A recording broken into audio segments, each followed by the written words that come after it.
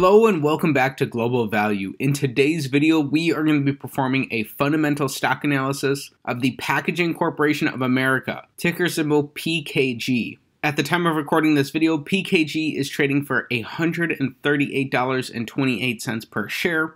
Year to date, their stock price is up 1.6%, which compared to the overall market is actually doing pretty decent.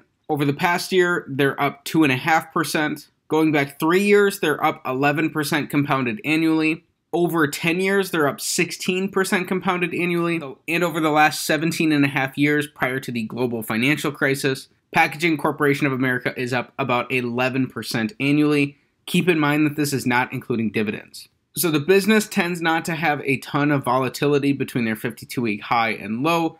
Currently, their stock price is situated in between the two, although it's a little closer to their low. About 2% of the company's shares outstanding are currently sold short, and PKG is about a $13 billion market cap. For some background about the business, Packaging Corporation of America is the fourth largest containerboard and corrugated packaging manufacturer in the United States. It produces roughly 4 million tons of containerboard annually. The company's share of the domestic containerboard market is about 10%, it differentiates itself from larger competitors by focusing on smaller customers and operating with a high degree of flexibility. Its three reportable segments are packaging, paper and corporate, and other. Packaging Corporation of America was founded in 1867 and is headquartered in Lake Forest, Illinois.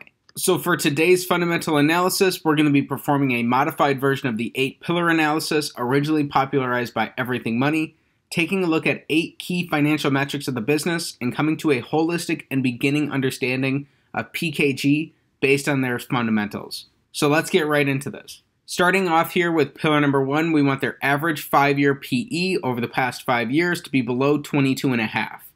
Currently, they're trading at about 14 times earnings. Over this time frame, they traded as low as 9 times earnings and as high as about 30 and a half times earnings. However, averaged out, they're trading at about 17 and a half times earnings. So that's going to be our first check here on pillar number one. Pillar number two, we want their average five year return on capital to be above 9%.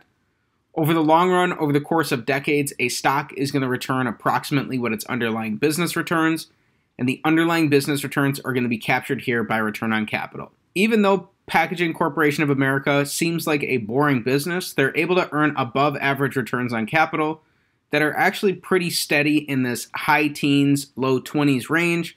In 2020, their returns did come down to 13%, but those are still above that 9% metric we were looking for.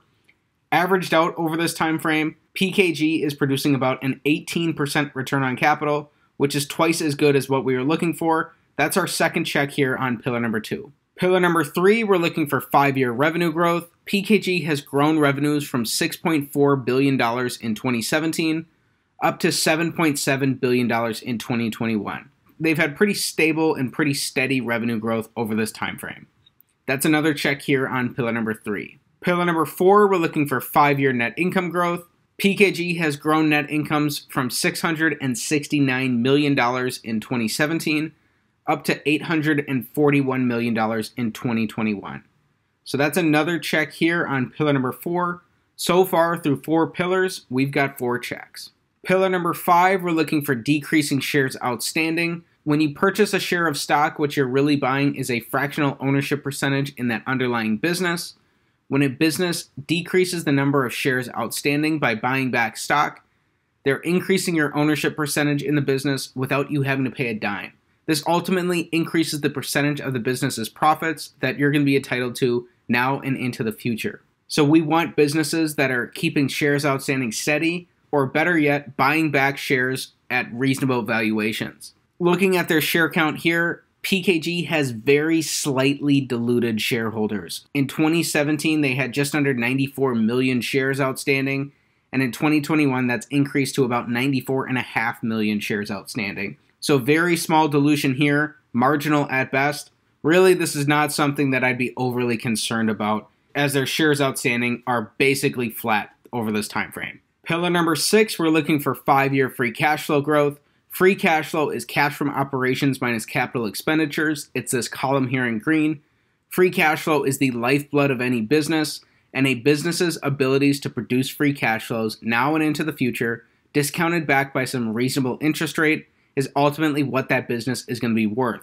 Free cash flow can be used to buy back stock, pay dividends, reinvest back into the business, pay down debt, or make acquisitions. In 2017, PKG produced $513 million of free cash flow, and that has decreased. In 2021, they produced $489 million of free cash flow. So while they have been able to increase their cash from operations, they significantly increased their capital expenditures in the most recent year. So that's an X here on pillar number six. Over this time frame, in an average year, PKG is producing about $610 million of free cash flow each year. We'll be using that number coming up here in pillars number seven and eight. Pillar number seven, we want their net debt, which is long and short term liabilities minus cash and short term equivalents, to be below their average five year free cash flow multiplied by five. This pillar helps us evaluate how the business utilizes leverage. We don't want to invest in businesses that are overly levered because, in hard economic times, overly levered businesses are the ones that are going to do the worst and are going to be at the most risk of bad outcomes. Be that failing, being forced to be acquired, or more likely being forced to raise money at unfavorable terms. As of the end of last year, PKG had about $2 billion in net debt. When we multiply their average five year free cash flow of $610 million a year times five, that brings us to about $3 billion. So, over the next five years, if PKG is able to produce the same amounts of cash flow that they were able to in the past five years, PKG is going to have more than a billion dollars left over after paying off all of this debt. So that is a sign that the business is using reasonable amounts of leverage here, and that's a check on pillar number seven. Finally, the big pillar of them all, pillar number eight, we want PKG's market cap to be below their average five year free cash flow multiplied by 20 to give us a reasonable starting valuation for the business. So currently, PKG has about a $13 billion market cap and when we multiply their average five year free cash flow of $610 million times 20, that brings us to about $12 billion.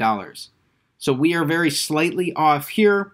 This is going to be an X on pillar number eight, but based on their abilities to produce free cash flows, it looks like PKG is about fairly valued at this point. Lastly, here we're looking at their dividend profile. People make mistakes all the time by blindly chasing dividend yield, and while PKG does pay out more than a 3.5% dividend yield, it's important that you don't blindly rush in and chase dividend yield, and instead you stop and consider whether a dividend is healthy and supported by the business's free cash flows so that it can be sustainable both now and into the future.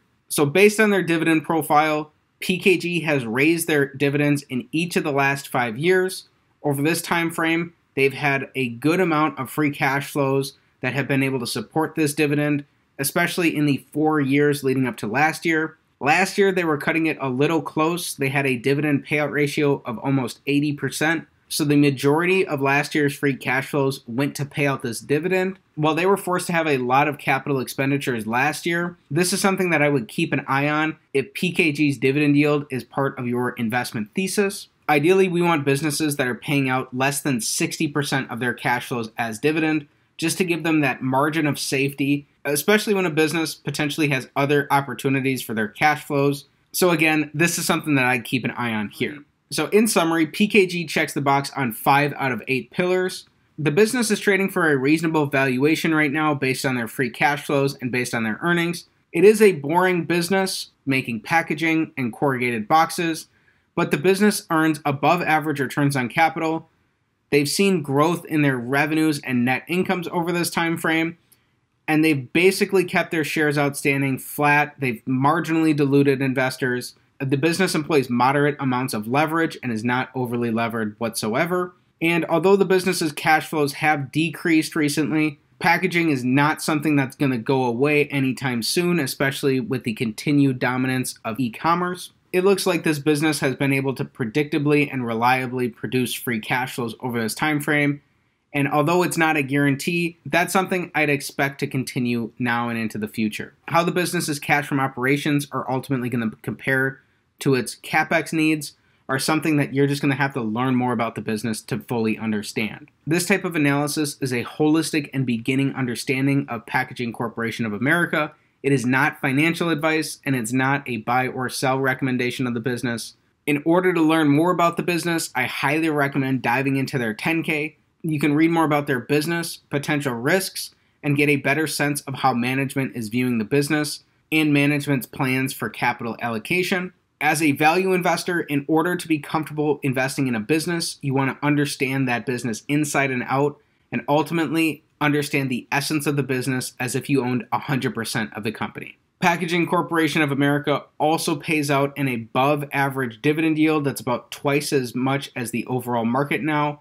But in the most recent year, they did have some pressure because they made a significant raise to their dividends while their cash flows have decreased over that time frame. So that's something to keep an eye on here. With that said, that's it for today's fundamental stock analysis of Packaging Corporation of America, ticker symbol PKG. If you enjoyed today's video, please be sure to like the video, subscribe to the channel for more stock analysis videos, and comment down below what business you want me to take a look at next time. Thanks for learning about PKG with me, and have a great day.